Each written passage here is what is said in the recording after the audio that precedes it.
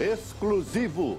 Lula diz ao SBT Brasil que, se for preciso, se muda para Curitiba para acompanhar depoimentos ao juiz Sérgio Moro. Ex-presidente afirma que só não será candidato se houver golpe. Eu agora quero ser candidato a presidente da República. Sob protestos da oposição, o governo tenta aprovar reforma trabalhista na Câmara. Senado aprova projeto contra o abuso de autoridade. Divulgadas imagens do assalto milionário no Paraguai. Supremo Tribunal Federal Federal decide que universidade pública pode cobrar por cursos de especialização. Morre aos 79 anos em Brasília o jornalista Carlos Chagas. Cientistas testam útero artificial com cordeiro prematuro e animal se desenvolve normalmente. Os pesquisadores americanos agora querem reproduzir a técnica para salvar bebês prematuros.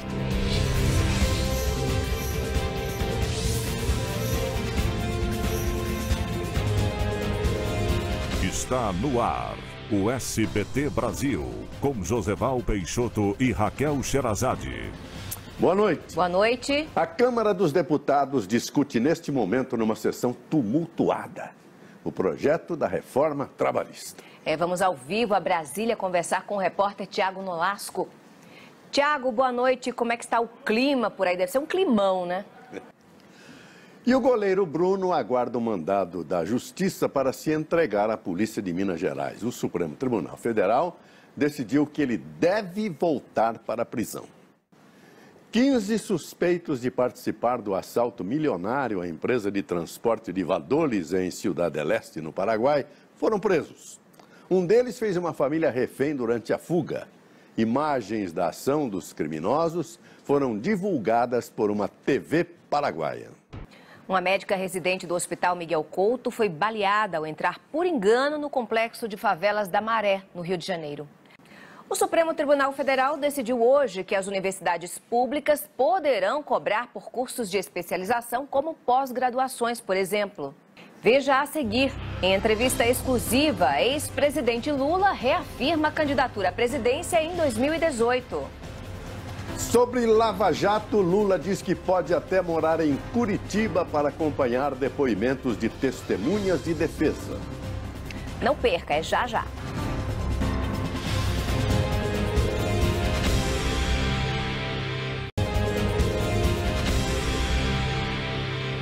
E foi adiado para o dia 10 de maio o depoimento do ex-presidente Lula ao, ao, juiz Sérgio Moro, em Curitiba. Em entrevista exclusiva a Kennedy Alencar, Lula falou sobre as investigações da Lava Jato, sobre o triplex em Guarujá e também do sítio de Atibaia.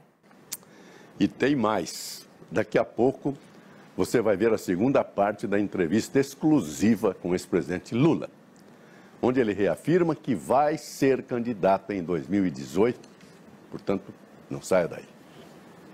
Depois da Justiça Federal do Rio de Janeiro revogar a prisão domiciliar da advogada Adriana Anselmo, a situação dela continua indefinida. Adriana chegou a sair do apartamento no Leblon, onde cumpria a pena, mas no início da noite, um dos desembargadores reavaliou a decisão, a pedido da defesa, e permitiu que ela voltasse para casa. Nesta quinta-feira, Adriana Anselmo e o ex-governador Sérgio Cabral devem prestar depoimento ao juiz Sérgio Moro em Curitiba.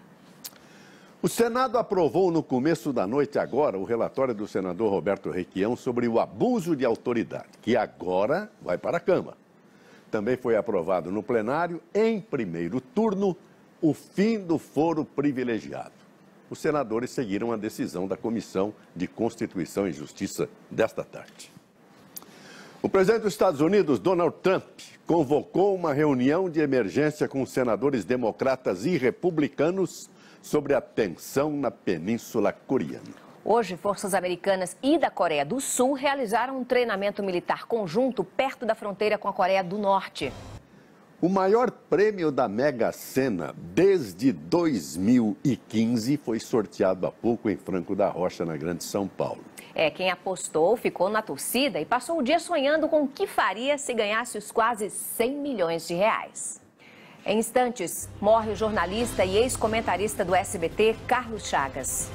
Como útero artificial desenvolvido por cientistas poderá ajudar no tratamento de bebês prematuros? A gente volta já já.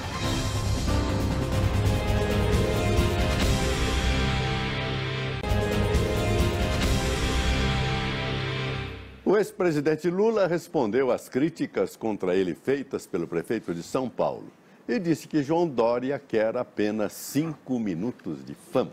Em entrevista exclusiva a Kennedy Alencar, Lula ainda confirmou que vai ser candidato à presidência da República em 2018.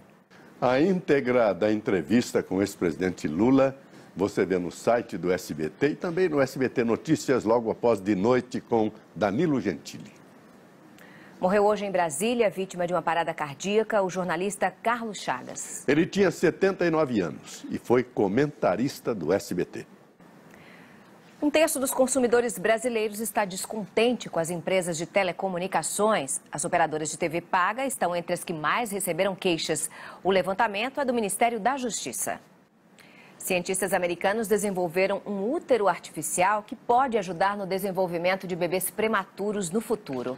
O equipamento está sendo testado em cordeiros com sucesso, como mostra agora a correspondente Yula Rocha. E fique agora com mais um capítulo inédito de Carinha de Anjo. Boa noite. Boa noite, Brasil.